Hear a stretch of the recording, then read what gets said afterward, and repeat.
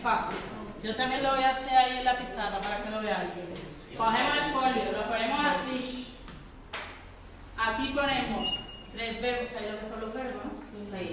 Dime tu nombre y cómo queréis que os llamen. A lo mejor pues yo me llamo Marta y quiero que me llaméis Marta. Si me tenéis que llamar profesora, pero es como si yo te llamo alumno. A mí me gusta que me, me llamen por mi nombre, ¿vale? O a lo mejor alguien tiene un mote, el apellido, lo que sea. Y tres adjetivos. ¿Sabéis lo que son los adjetivos también, no? Vale, pues voy a repartir los folios.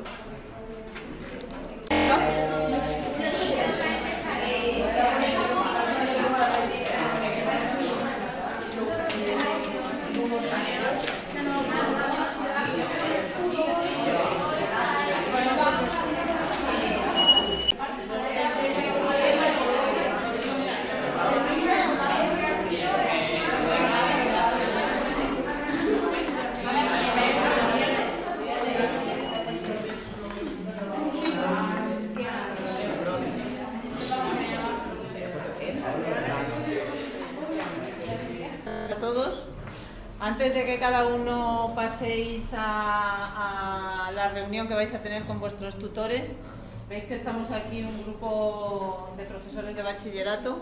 Hemos venido todos juntos a recibiros y el equipo directivo porque bueno, nos parecía importante, eh, vais a hacer un cambio de etapa eh, que recibierais un mensaje conjunto de, de todos nosotros y queríamos deciros unas palabras eh, antes, ya digo, de la reunión con los tutores. Termi- Eh, habéis terminado la etapa de secundaria, empezáis el bachillerato. Son dos años lo que tenéis por delante, eh, muy diferentes de, los que han, de lo que han sido los, los años de la secundaria. Tenéis ahí un reto importante, es un tipo de, de enseñanza con unos objetivos distintos, con unas características diferentes y entonces desde ese punto de vista pues es importante que vosotros desde el primer momento estéis mentalizados para eso. Tiene muchas cosas muy bonitas porque lo que vais a aprender pues eh, seguramente os parecerá interesante y se- probablemente a cada uno se ajuste más a lo que, puesto que ya habéis eh, elegido una u otra opción, a lo que más os interesa o a lo que más os gusta.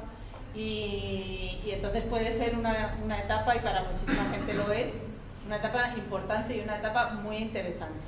También es cierto que por otro lado, pues la forma de, enfrentarse a ella o de iniciarla eh, tiene que ser distinta.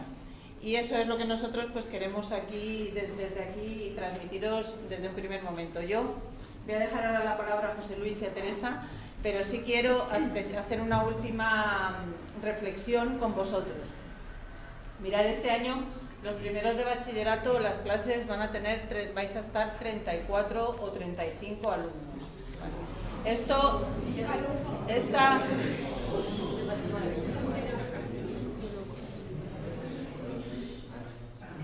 esto coincide con la ratio oficial. La, ratio, es decir, el número de alumnos que oficialmente hay en cada clase, es para la secundaria de 30 alumnos, pero para el bachillerato es de 35 y en algunos, en algunos institutos llegan a 37, 38. ¿vale?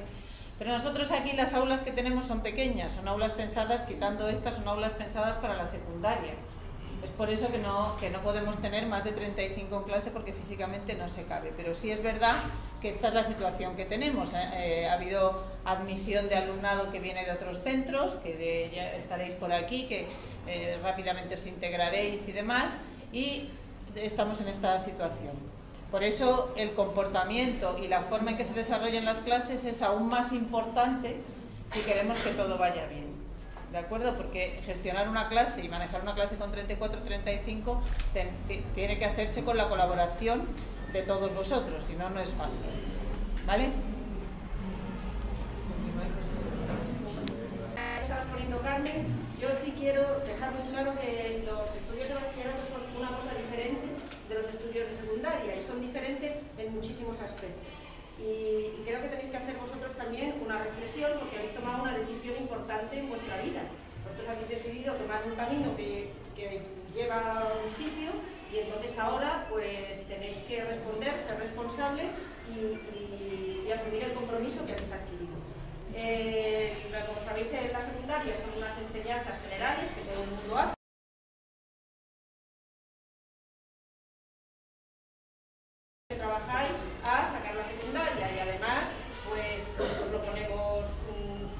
En el sentido de que os damos pues todo el acompañamiento que es necesario.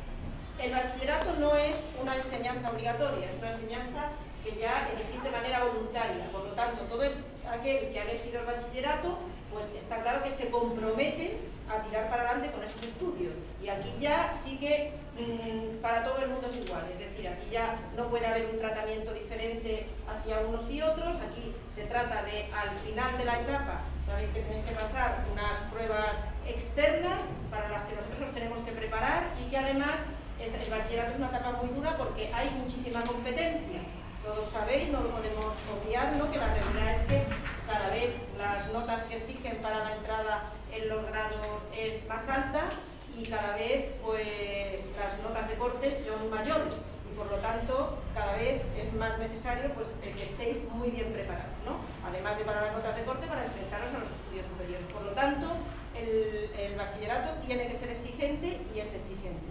Entonces, los mismos profesores que en la secundaria Mm, actuamos de una manera, yo quiero deciros que en el bachillerato pues somos de otra manera, porque esto ya es otra cosa. Entonces, ¿qué quiere decir eso? Pues primero que exigir tenemos que exigiros más.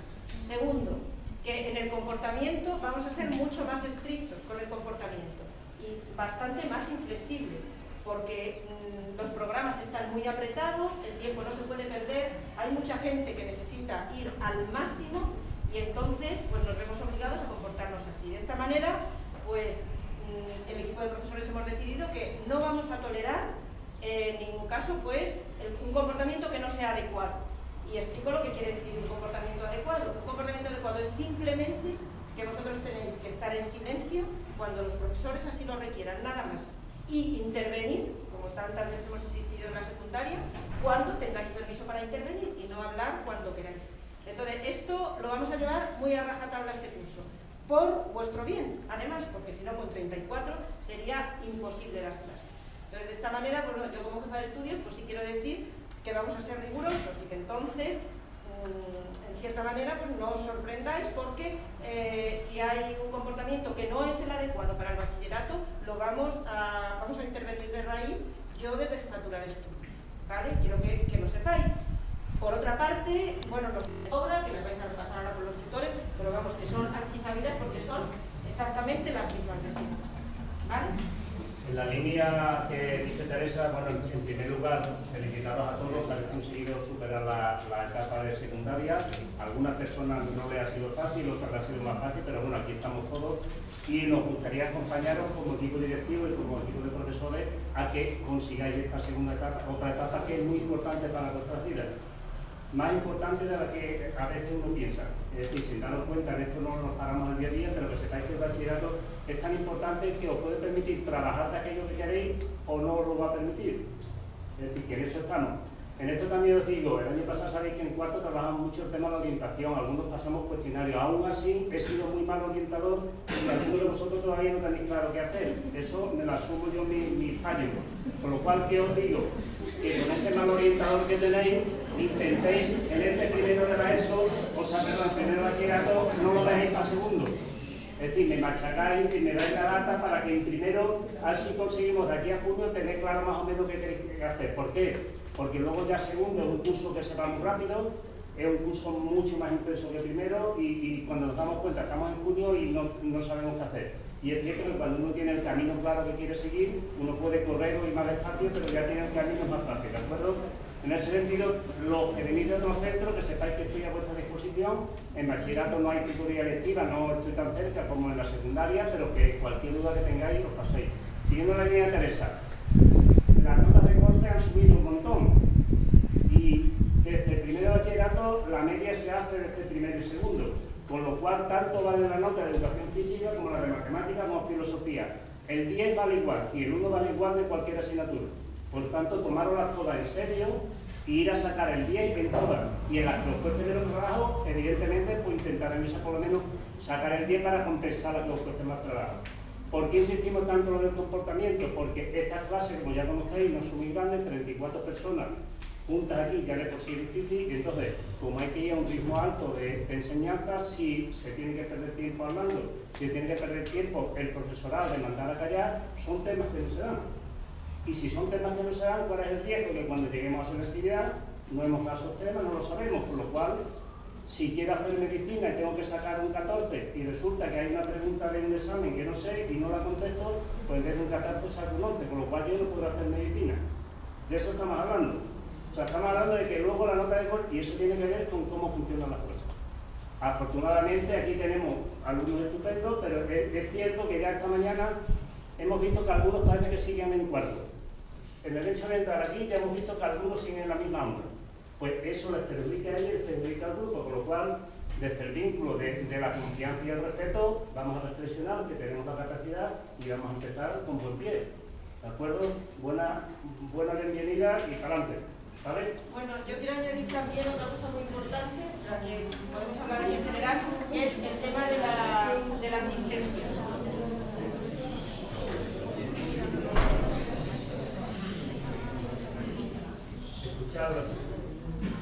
El, el, hecho de que no sea una enseñanza, esta que iniciáis este curso, una enseñanza obligatoria, no quiere decir que no sea obligatoria la asistencia.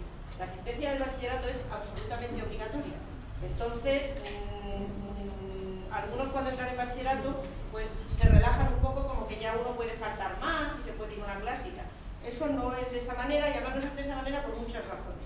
Una razón es porque la enseñanza es obligatoria y por lo tanto hay que asistir, pero hay una razón que además es que eso os perjudica enormemente. Es decir, si yo no vengo a una clase para estudiar porque tengo otro examen y falto esa clase y empiezo a faltar unas clases para estudiarme otra, yo me desconecto me desconecto de las materias, me desconecto del curso y luego son clases imposibles de recuperar. Una clase, el valor de una clase, eso es imposible que luego tú en tu casa, solo ni con un compañero ni con nada, puedas ponerte al día. Porque, porque en una clase aquí son muchísimo contenido, se hacen muchísimas cosas y entonces la pérdida de una clase es algo que como se empiecen a acumular, se acumula un retraso que es prácticamente imposible luego de sobreponerse a él que es por vuestro propio bien. De tal manera que, bueno, que, a mí pienso que debéis reflexionar sobre esto y plantearos y organizaros muy bien, porque tenéis muchas materias y tenéis que traer las cosas preparadas. Tendréis muchos exámenes, porque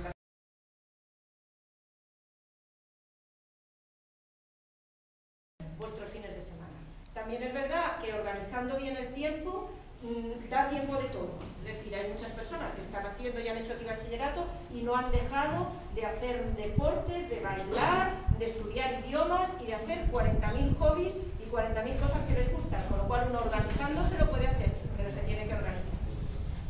En línea con esto, pues decir que la asistencia será controlada y que también tiene unas consecuencias que ya los tutores os irán explicando y los profesores, porque a un número determinado de faltas sin justificar, pues eso va perjudicando la nota y se puede incluso llegar a perder el derecho a la evaluación continua que está establecida. Con lo cual es muy, muy importante la existencia rigurosísima a clase. ¿Vale? Nada más, yo antes de que, os vayáis cada uno con vuestro tutor, sí quería agradecer al profesor de bachillerato que nos acompaña en esta reunión y presentar